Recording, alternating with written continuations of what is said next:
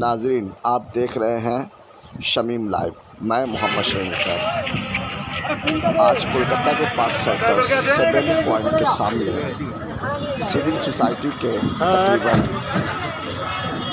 एक दर्जन से लोगों को पुलिस ने इसलिए गिरफ़्तार कर लिया कि उन्हें उस जगह पे इजाज़त नहीं थी कि वो वहाँ से मजम्मती जुलूस निकालें या कोई तकरीर करें या रैली निकालें। इस दरमियान कई लोगों को पुलिस ने डिटेन किया और लाल बाज़ार सेंट्रल लॉकअप में उन्हें बताइए। हाँ नहीं इन लोग के बारे में बोल रहे हैं कि सियासत में कोई किसी का नहीं इन लोग को क्या तो थाना में जाकर जमानत के लिए अर्जी दी जो फ़िलहाल कुछ लोगों को वहाँ से निकालने की कोशिश की जा रही है ताकि वो जेल से रिहा हो सके आइए हम देखते हैं कि इस दरमियान क्या कुछ हुआ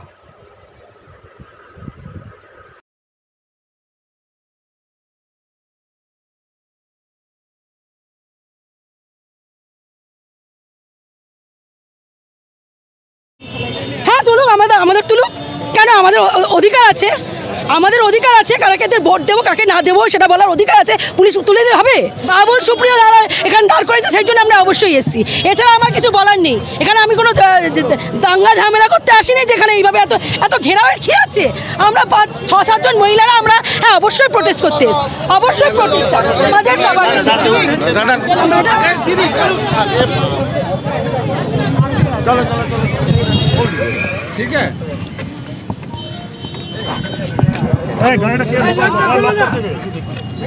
কি বলতে চান?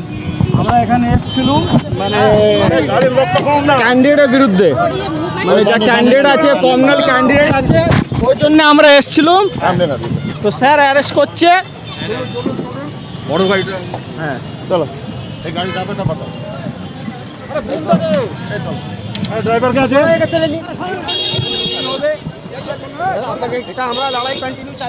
যত বলে হুন, লড়াই চালিয়ে যাব আমরা, এটা বলে দিলাম আপনাকে।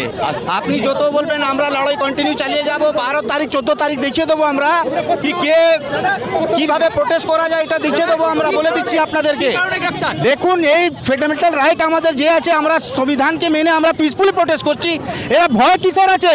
এদের ভয় কিসের আছে এটাই জানতে চাই। এদের আম নাগরিক প্রোটেস্ট করতে পারবে কিনা? এটাই জানতে চাইছি আমরা। এই বাবু সুপ্রিয় যে দাঙ্গাবাজ সুন্দর চোদ্দ তারিখ আমরা বুঝে দেবো কি উনি ভোট পাবেন কি পাবেন না। সেইভাবে উনি ভয় পুলিশকে দিয়ে ভয় করছেন আমরা ভয় পাবো না এটা মাথা রাখবেন। আমরা ভয় পাবো না গ্রেপ্তার করুন না।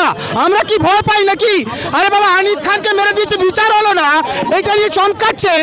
আমরা চমকাবো না চমকালে হবে নাকি? আমার নাম ফেজল খান। আমি এই নার্সিং প্রোটেস্টার আমরা ছিলাম। আমরা এই নার্সিং বিরুদ্ধে আমরা লড়াই করেছি। এই বাবু সুপ্রিয় বলেছিলেন কি এনআরসি প্রপোজিট ছিলেন। আমরা ওনাকে ভয় পাই না এটা বলে দিলাম। আমরা ভয় পাবো না। যত উনি ভয় করবেন অত লড়াই করব। আর চোদ্দ তারিখ দেখিয়ে দেবো আমরা কি উনি কীভাবে জয় করবেন। আমরা লড়াই কন্টিনিউ থাকব। আমরা ভয় জীবনে পাই না। এটা বলে দিচ্ছি আপনাদেরকে। টেকনোলজি চালাচ্ছেন, আমরা ভয় পাবো না। এটা বাবু সুপ্রিয়কে বলতে চাই, চোদ্দ তারিখ আমরা দেখিয়ে দেবো কীভাবে লড়াই হয়। আমরা বাবু সুপ্রিয়কে বলতে চাই, চোদ্দ তারিখ আমরা লড়াই লড়বো। এটা বলে দিলাম আপনাদেরকে। আপনি দেখতে পেয়েছেন। থাকব এটা আমাদের অধিকার। হ্যাঁ আমরা অবশ্যই বলব লাগাতার বলব এবং এই ক্যাম্পেনিং চলবে। ইতিমধ্যেই